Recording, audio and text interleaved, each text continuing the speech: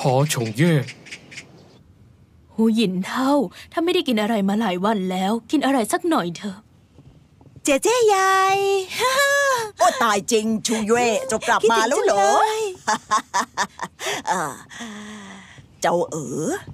เจ้ารู้ไหมว่าย่าเป็นห่วงแค่ไหน ก็กลับมาแล้วไม่ใช่เหรอ อ่าเอ๊ะ คนคนคนคนคนนี้เจ๊เจ๊คือใหญ่ คนนี้น้องชายข้าเขาห่วงเล่นดังนั้นก็เลยมากับข้าด้วยอ๋อสวัสดีญาติตัวน้อสยวัสดีขอรับเออเอ่อเอ่อหูหยินเท่า พี่ใหญ่ของข้าทำอะไรบุ่มบามจนเคยตัว ขอท่านอย่าได้ถือโทษเลอุ้ยยโถเอ้ยพี่ใหญ่ของเจ้านะนะ ฉลาดหลักแหลมข้าชอบนางยิ่งนัก เด็กสองคนนี้ช่างเหมาะสมกันจริง ๆ ข้าหวังว่าจะได้เป็นน้าในเร็ววัน โอ้คำพูดของญาติตัวน้อยตรงใจข้าพอดี ในเมื่อพวกเขาแต่งงานกัน ต้องพักอยู่ด้วยกันอยู่แล้ว เอ๊ะอีกไม่นานก็จะได้อุ้มเหลนแล้วล่ะ ไม่ได้อืมเราแต่งงานกันปลอมๆ จะพักอยู่ด้วยกันได้ยังไง ชูเย่ช่วยย่าหน่อยเถอะนะ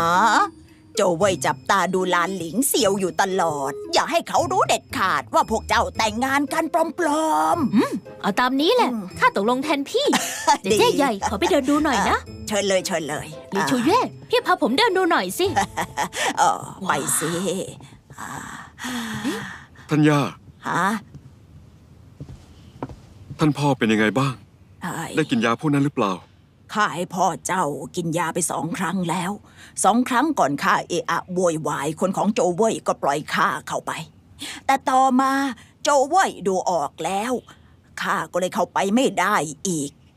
ตามที่หมอลัวให้กินสามวันให้หลัง หากเขาไม่ได้กินยาชุดสุดท้าย ก็จะแก้พิษนี้ไม่ได้แล้ว ท่านย่าวางใจเถอะข้าจะหาทางเอง เออได้เลยได้ได้ ข้าจะไปดูพวกเขาสองพี่น้องนะอืมนายท่าน อันจริงเจ้าปรากฏตัว ร่างกายแข็งแรงดีสืบเรื่องพักมิตรแท้ถึงไหนแล้ว ตอนนี้ยังไม่ได้เบาะแสอะไร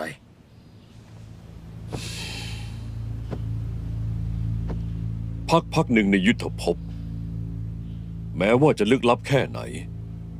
ก็ไม่มีทางที่จะไม่มีเบาะแส